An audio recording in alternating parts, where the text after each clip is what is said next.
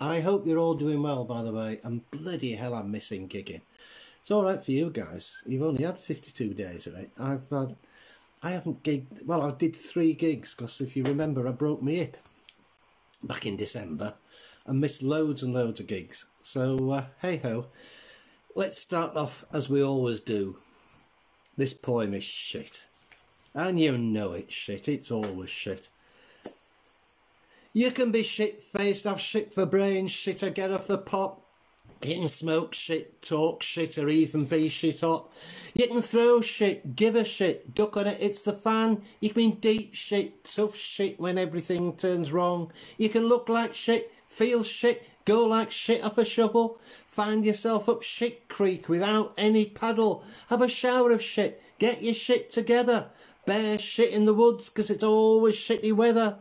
There's heavy shit, weird shit. Hey, please don't be offended. This is just a shitty poem. We're just fucking glad it's ended. Thank you. I thank you. These are, uh, because I've been locked away for uh, ages and ages and ages, uh, I've been writing, as writers do, I suppose and they've been appearing up on my own Facebook feed and they've been appearing everywhere. This is, uh, I got really hacked off with people coming up with these crazy, crazy sort of conspiracy theories. This is about that. It's called Strange Days. Subtitled, Even the Conspiracy Theories a Conspiracy. Strange days, unusual connections, strange voices, echoing reflections of card sharks and wheeler dealers, snake oil salesmen, crooked faith healers, YouTube prophets, conspiracy theorists, ridiculing science, ignoring the realists, so many experts, so many opinions, so many big brains, treating us like minions, patronising, talking down. So instead of wearing smiles, we can only wear a frown. It ain't very good for our mental health, so please keep your opinions to your fucking self. Thank you. This is also, uh, it's sort of really, well, I suppose it pissed everybody off, uh, the government's treatment of our emergency workers. Uh, this is called You Don't, dot, dot, dot, dot, dot. You don't send a painter off to work without a brush. You don't send a driver a load without a truck. You don't send a soldier to war without a gun. Any mathematician can work it out using just a couple of sums. You don't find a banker without their stocks and shares. You don't find a vicar without a Bible and a prayer. You don't find a forest without a falling tree. You can't find a crisis without a cup of tea. You don't find the Telegraph criticising any Tories. You can't find a boxer that can out knock out Tyson Fury. But you do expect a health food trust to look after all its workers and wish that our government were not penny pinching shirkers. Thank you. Thank you. Uh, this I wrote after the Manchester bombings, actually, and did it a couple of times down the cellars supporting Jesse. Uh, and it sort of is even more appertainable now. It's called Heroes. Where the hell is Batman when you need him most? Did Captain America's invite go missing in the post? Why won't Scotty beam me up? Where's Flash and Superman? I thought I could rely on them to protect their fellow man. Where are all our superheroes to help us fight these crimes? Where are all the superheroes to help us through our times? But some days, every now and then, in the midst of all the horror, a superhero steps forward, a paramedic, fireman or doctor, or a member of the public, someone who won't pass by, someone who gives a shit, someone who'll have a try, someone who does what they have to do. They don't need no Superman mask. They just do what they have to do without having to be asked. So we have our superheroes. We see them every day. They don't need no colourful costumes, just the decent living wage. Thank you. Hello, Niels. You all right there? Watch out for a great single coming out from uh, those young lads there. Young lads, hey? uh, Northern Riots. Great single coming up. Trust me.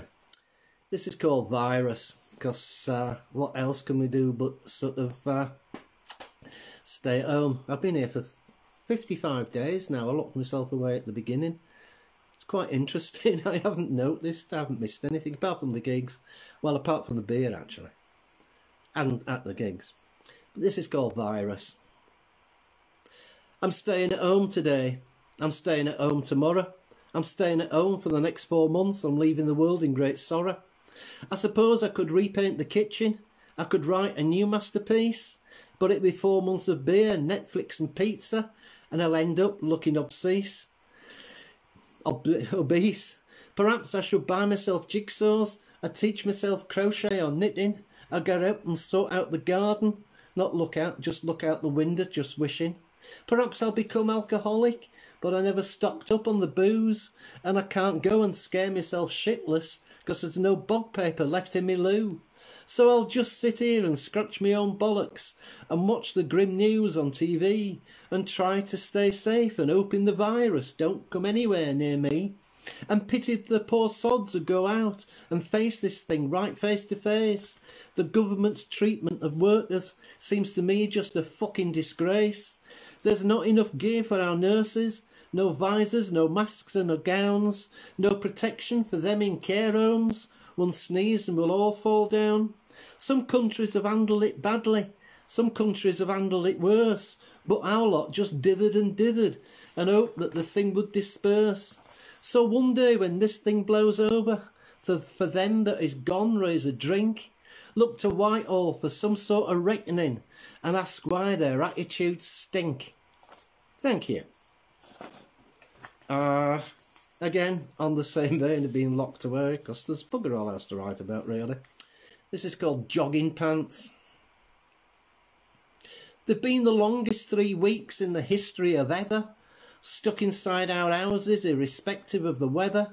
Just bit players in this game of life, sitting out the locking, avoiding all the strife, panning for gold in the YouTube channels, scraping stuff to watch from the bottom of a battle. It's become our entertainment, that's how we spend our nights. No one's had an haircut, we all look like a fright. All we've worn is jogging pants for the last three months and turned our communications into a set of grunts. Thank God for the internet, FaceTime, Zoom and others, keeping the connection between sisters, brothers, mothers. Not going out to shop, having everything delivered. All this home drinking is fucking with me liver. Watching wildlife take over the street. Going for a walk, it's just the badgers that you meet. We're all hand washing, but it's the world that's getting clean. All on account of that COVID 19. Thank you. Uh, this is the last one about the uh, virus and COVID thing, and it's dedicated to us all because when this is over, boy, how are we going to hit that pub? It's called When This Shit Is Over. When all this shit is over, we'll sit down inside a bar.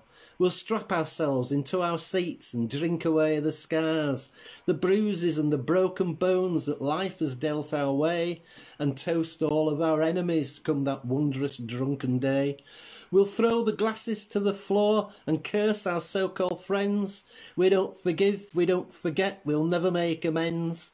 When all this shit is over, we'll sit there face to face. We'll stumble round and mumble about each other's saving grace. We'll show the world we matter. We'll show the world we care. We'll drink that bloody bar so dry till we drink away our tears. We'll drink till night time's over. We'll drink till break of day. We'll down the hatch and raise the roof till they carry us away. Thank you. Opium. Right, on a lighter note, let's get a bit lighter now. This is called Phobias. And you've got to be sober to say this one. Which will be unique for me. I'm scared of beautiful women and venustraphobic. I don't like spiders either. I'm also arachnophobic. I don't like the colour purple. I'm polyphorophobic. And I'm not too fond of water. I guess I'm hydrophobic. I don't really like wriggly snakes. I'm ophidophobic. And I don't like things that are dead. I'm necrobloodyphobic. I always wear zips. I don't like buttons. I'm compowphobic. And I don't like the kicking of clicking of the clock. I'm chronometrophobic. I don't like things that are big. I'm megalocophobic. I don't like things that are small. I must be microphobic. I think I'm scared of my phobia. That means I'm phobophobic. And I'm really scared of giants. I guess I'm fee fi phobic. Thank you. it's really bizarre with nobody giggling. Well, not even the cat's laughing. this is another new one. This is about vampires. I fell in love with a vampirina. It was love at first bite. She couldn't have been more obscene. We slept all day and made love all night, and when she went to McDonald's she gave everyone a fright. She ordered her Big Mac uncooked and raw, and was offended they don't do bloody milkshakes anymore. She hangs upside down when she goes to sleep. I tried doing that, but I fell down in an heap. She loves red meat, but avoids having steaks. Can't do her makeup in a mirror 'cause she makes mistakes. She always drinks a soup before it's clotted, and drinks Bloody Marys 'cause Mary's veins are carotid.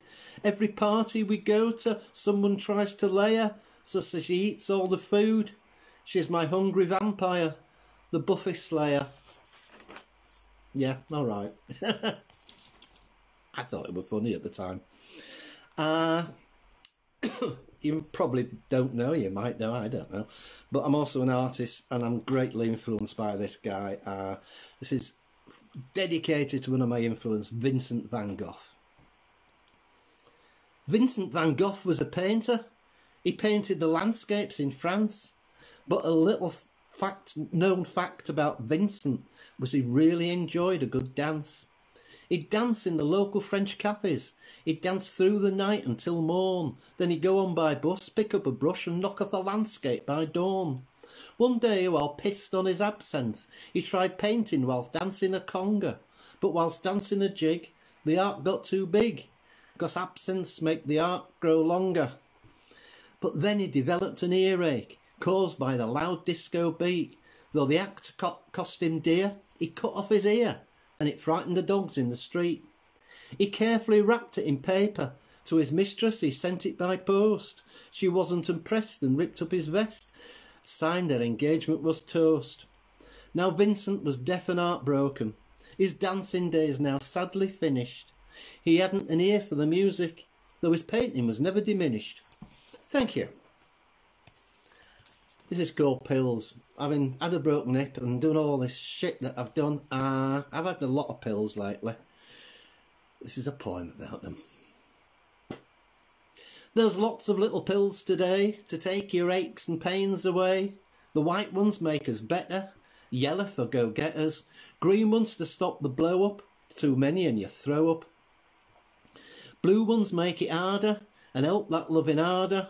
Pink ones help at sleeper's night, green ones make us feel like shite, a purple one can make us smart, a black one just explodes the heart, a brown one helps you if you mourn, three too many and you grow horns, one pill makes you smaller, one pill makes you tall, but the ones that mother gives you stops you climbing up the wall. There's pills to help your diet, pills to make you fat, pills to stop the aging, pills that make you chat, pills to make you happy, Pills to make you sad, pills that turn you inside out till you think you're going mad, pills like that act like magic, you'll swear that you've been exed. I got some Viagra to stop the bruggers droop and offered my old lady a night of super sex. I was so pissed off when she chose the soup. Thank you. This is dedicated to an hero of mine. it's uh, doesn't have a title, it just starts like this. Like a pubic hair on a toilet seat, you really piss me off. Like a doctor in a hernia ward, you make me want to cough. Like a chameleon on a tartan rug, you never show true colours. Like a wristwatch on a businessman, you've got no time for others. Like a violinist in a folk group, you're always on the fiddle. Like a double-ended yo-yo, you play both ends against the middle. Like the eyes of the executioner peering from his mask. Like a piece of spat-out chewing gum you stick into your task. Like a one-legged man in an arse-kicking race, you're next to fucking useless. Like Sherlock Holmes in a Cluedo game, you're absolutely clueless. Like two lovers on a moonless night, you're groping in the dark. Like Frankenstein's monster on the slab, you're missing a vital spark. Like a dyslexic agnostic that doesn't believe in dog. You're stuck in the wrong century because you're Jacob William Rees-Mogg. Thank you. Aye, thank you. This is uh, this is another new one. Tons of new ones. I'm just checking the time. Uh, this is called sayings because I love sayings and I love playing with them. You can lead a horse to water, but a pencil has to be led. We'll burn that bridge when we get to it, is a phrase that's seldom said. He's not the smartest egg in the attic, is what everybody thinks. And you can put your rubbish in another man's bin, but you can never make him drink. I'll stand me ground and state me claim, because hell hath no fury. And I'll say what I want to say till all the cows freeze over. And I'm never counting on me chickens, because that's not rocket science. I've made me bed and I've watched it boil, just like any other kitchen appliance. Me sleeping dog has woken up and bitten me lazy hen, and one man's meat is another man's fish unless he counts to ten. There's something afoot out there, and it's not just a 12 inch ruler. And oranges aren't the only fruit because cucumbers are cooler. Never wash yourself in public if your underpants are dirty. You can lead an horse to water, but it'll never win the 230. Thank you. Here's one about getting old, because I am. Bloody old. this is called Time Goes By So Fast. Sometimes it's better not to remember. Sometimes it's better to forget. Sometimes it's better just to turn the page and wipe away the debt. Nostalgia ain't what it used to be. Don't look back in sorrow. When all is finally said and done, today will be yesterday tomorrow. Time is what you make it. It's never on your side. Between the living and the dead is where two worlds collide. So always live to tomorrow. Don't dwell in the past. Cause when you're getting older, time goes by so fast. And one day you'll be called Spider-Man because you can't get yourself out of the bath. Thank you. This is for all the rock and rollers out there. This is for Nils. This is for the lot of you. It's called the Devil's Rock and Roll. If you lose your woman and you lose your soul, it don't mean a damn, it's just the devil's rock and roll. If your winning lottery ticket gets washed in your old jeans and the bosses lay you off because they brought in a machine and everything you touch seems to turn to shite, your days are numbered and you don't sleep well at night, turn to the bottle to have a little tipple when you realise your partner has got that extra nipple and your credit card's been nicked and your pocket's just been picked and your cat's got oobs and it's worked out all your moves. There's a goat inside your wardrobe and a succubus wears your bathrobe. There's horns on the end of the pizza delivery man and you realise that Black Sabbath isn't just a band and you went to the crossroads but you still can't play guitar. And although the tune's been lifted, you'll always bear the scar. And God proclaimed to Richards, to us he would bequeath. Jesus gave us Cliff, but the devil gave us Keith. And there ain't a cobbler that can fix a hole that's in your soul. Relax, sit back, and suck it up. It's just the devil's rock and roll. Thank you. How are we doing? A couple more minutes left. Uh, this is about music as well. This is called Punk Rocker. Because I was. Well, before that was an hippie. Before that was a mod. Bloody hell. uh, punk Rocker. I saw the police. I went to see the Clash bought all of their albums and spent all of me cash. I saw the Rezillos and Sham 69, going to punk gigs took up all my time. I saw the Pogues when they were Pogue Mahone. but I never got to see a band they called the Ramones. I saw Peter and the test tube babies, even had a pint with old rat scabies. I saw Chelsea and alternative TV. All that speed nearly was the death of me. I saw Ian Dury, I went there on my own, but I never got to see a band called the Ramones.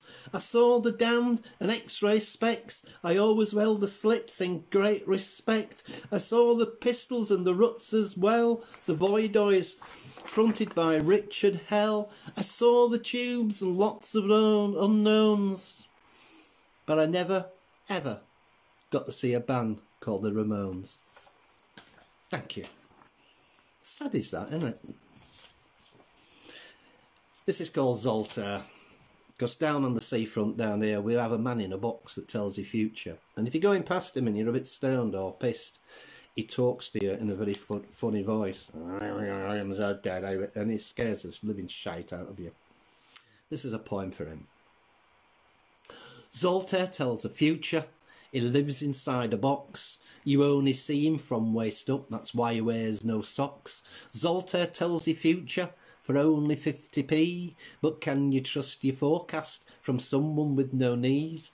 Zoltar tells the future, whether good or whether bad. His wooden voice intones your fate, that's why you look so sad. Zoltar tells your future, and Zoltar never smiles. He sits outside inside his box, that's why he suffers piles. Zoltar's eyes are mechanical. Zoltar knows your fate. Zoltar knows if you've got time, but he knows that it's too late.